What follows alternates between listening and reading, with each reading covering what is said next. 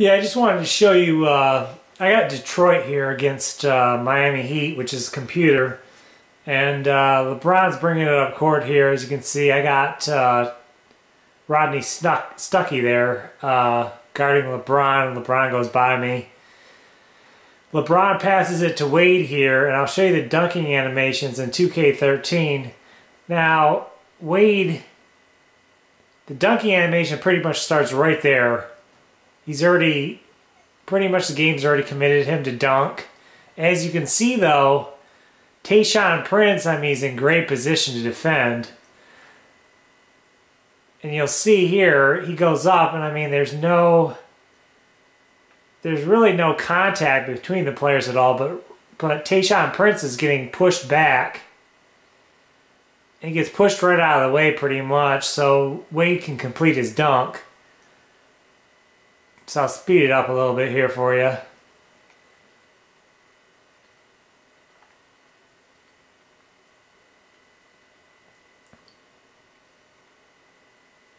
So as you can see here, that Wade pretty much is committed to the dunk. And in the game this year, pretty much your defender gets moved, pushed out of the way. So the dunk can complete. I mean, there's no foul called, nothing. Tayshaun Prince, you would almost think having this great a position would get knocked to the ground. There'd be a foul call. There wouldn't be any dunk. Anything like that. So, I mean, it's kind of crazy. And then I got, like I said, I got Stuckey here. And I go off for the block. And I actually, my arm actually goes through the ball. See if I can get a better shot.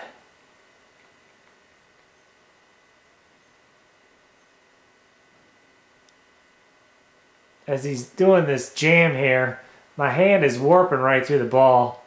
So you would think the ball would get blocked or or there would be a foul or something here, but there's not.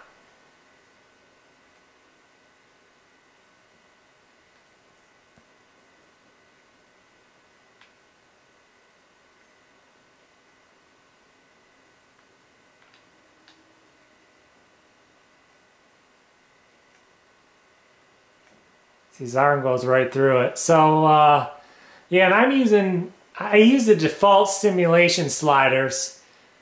And then I toned them down even more, actually, to be kind of like 2K11s where dunking in traffic, the success and the frequency is not as great.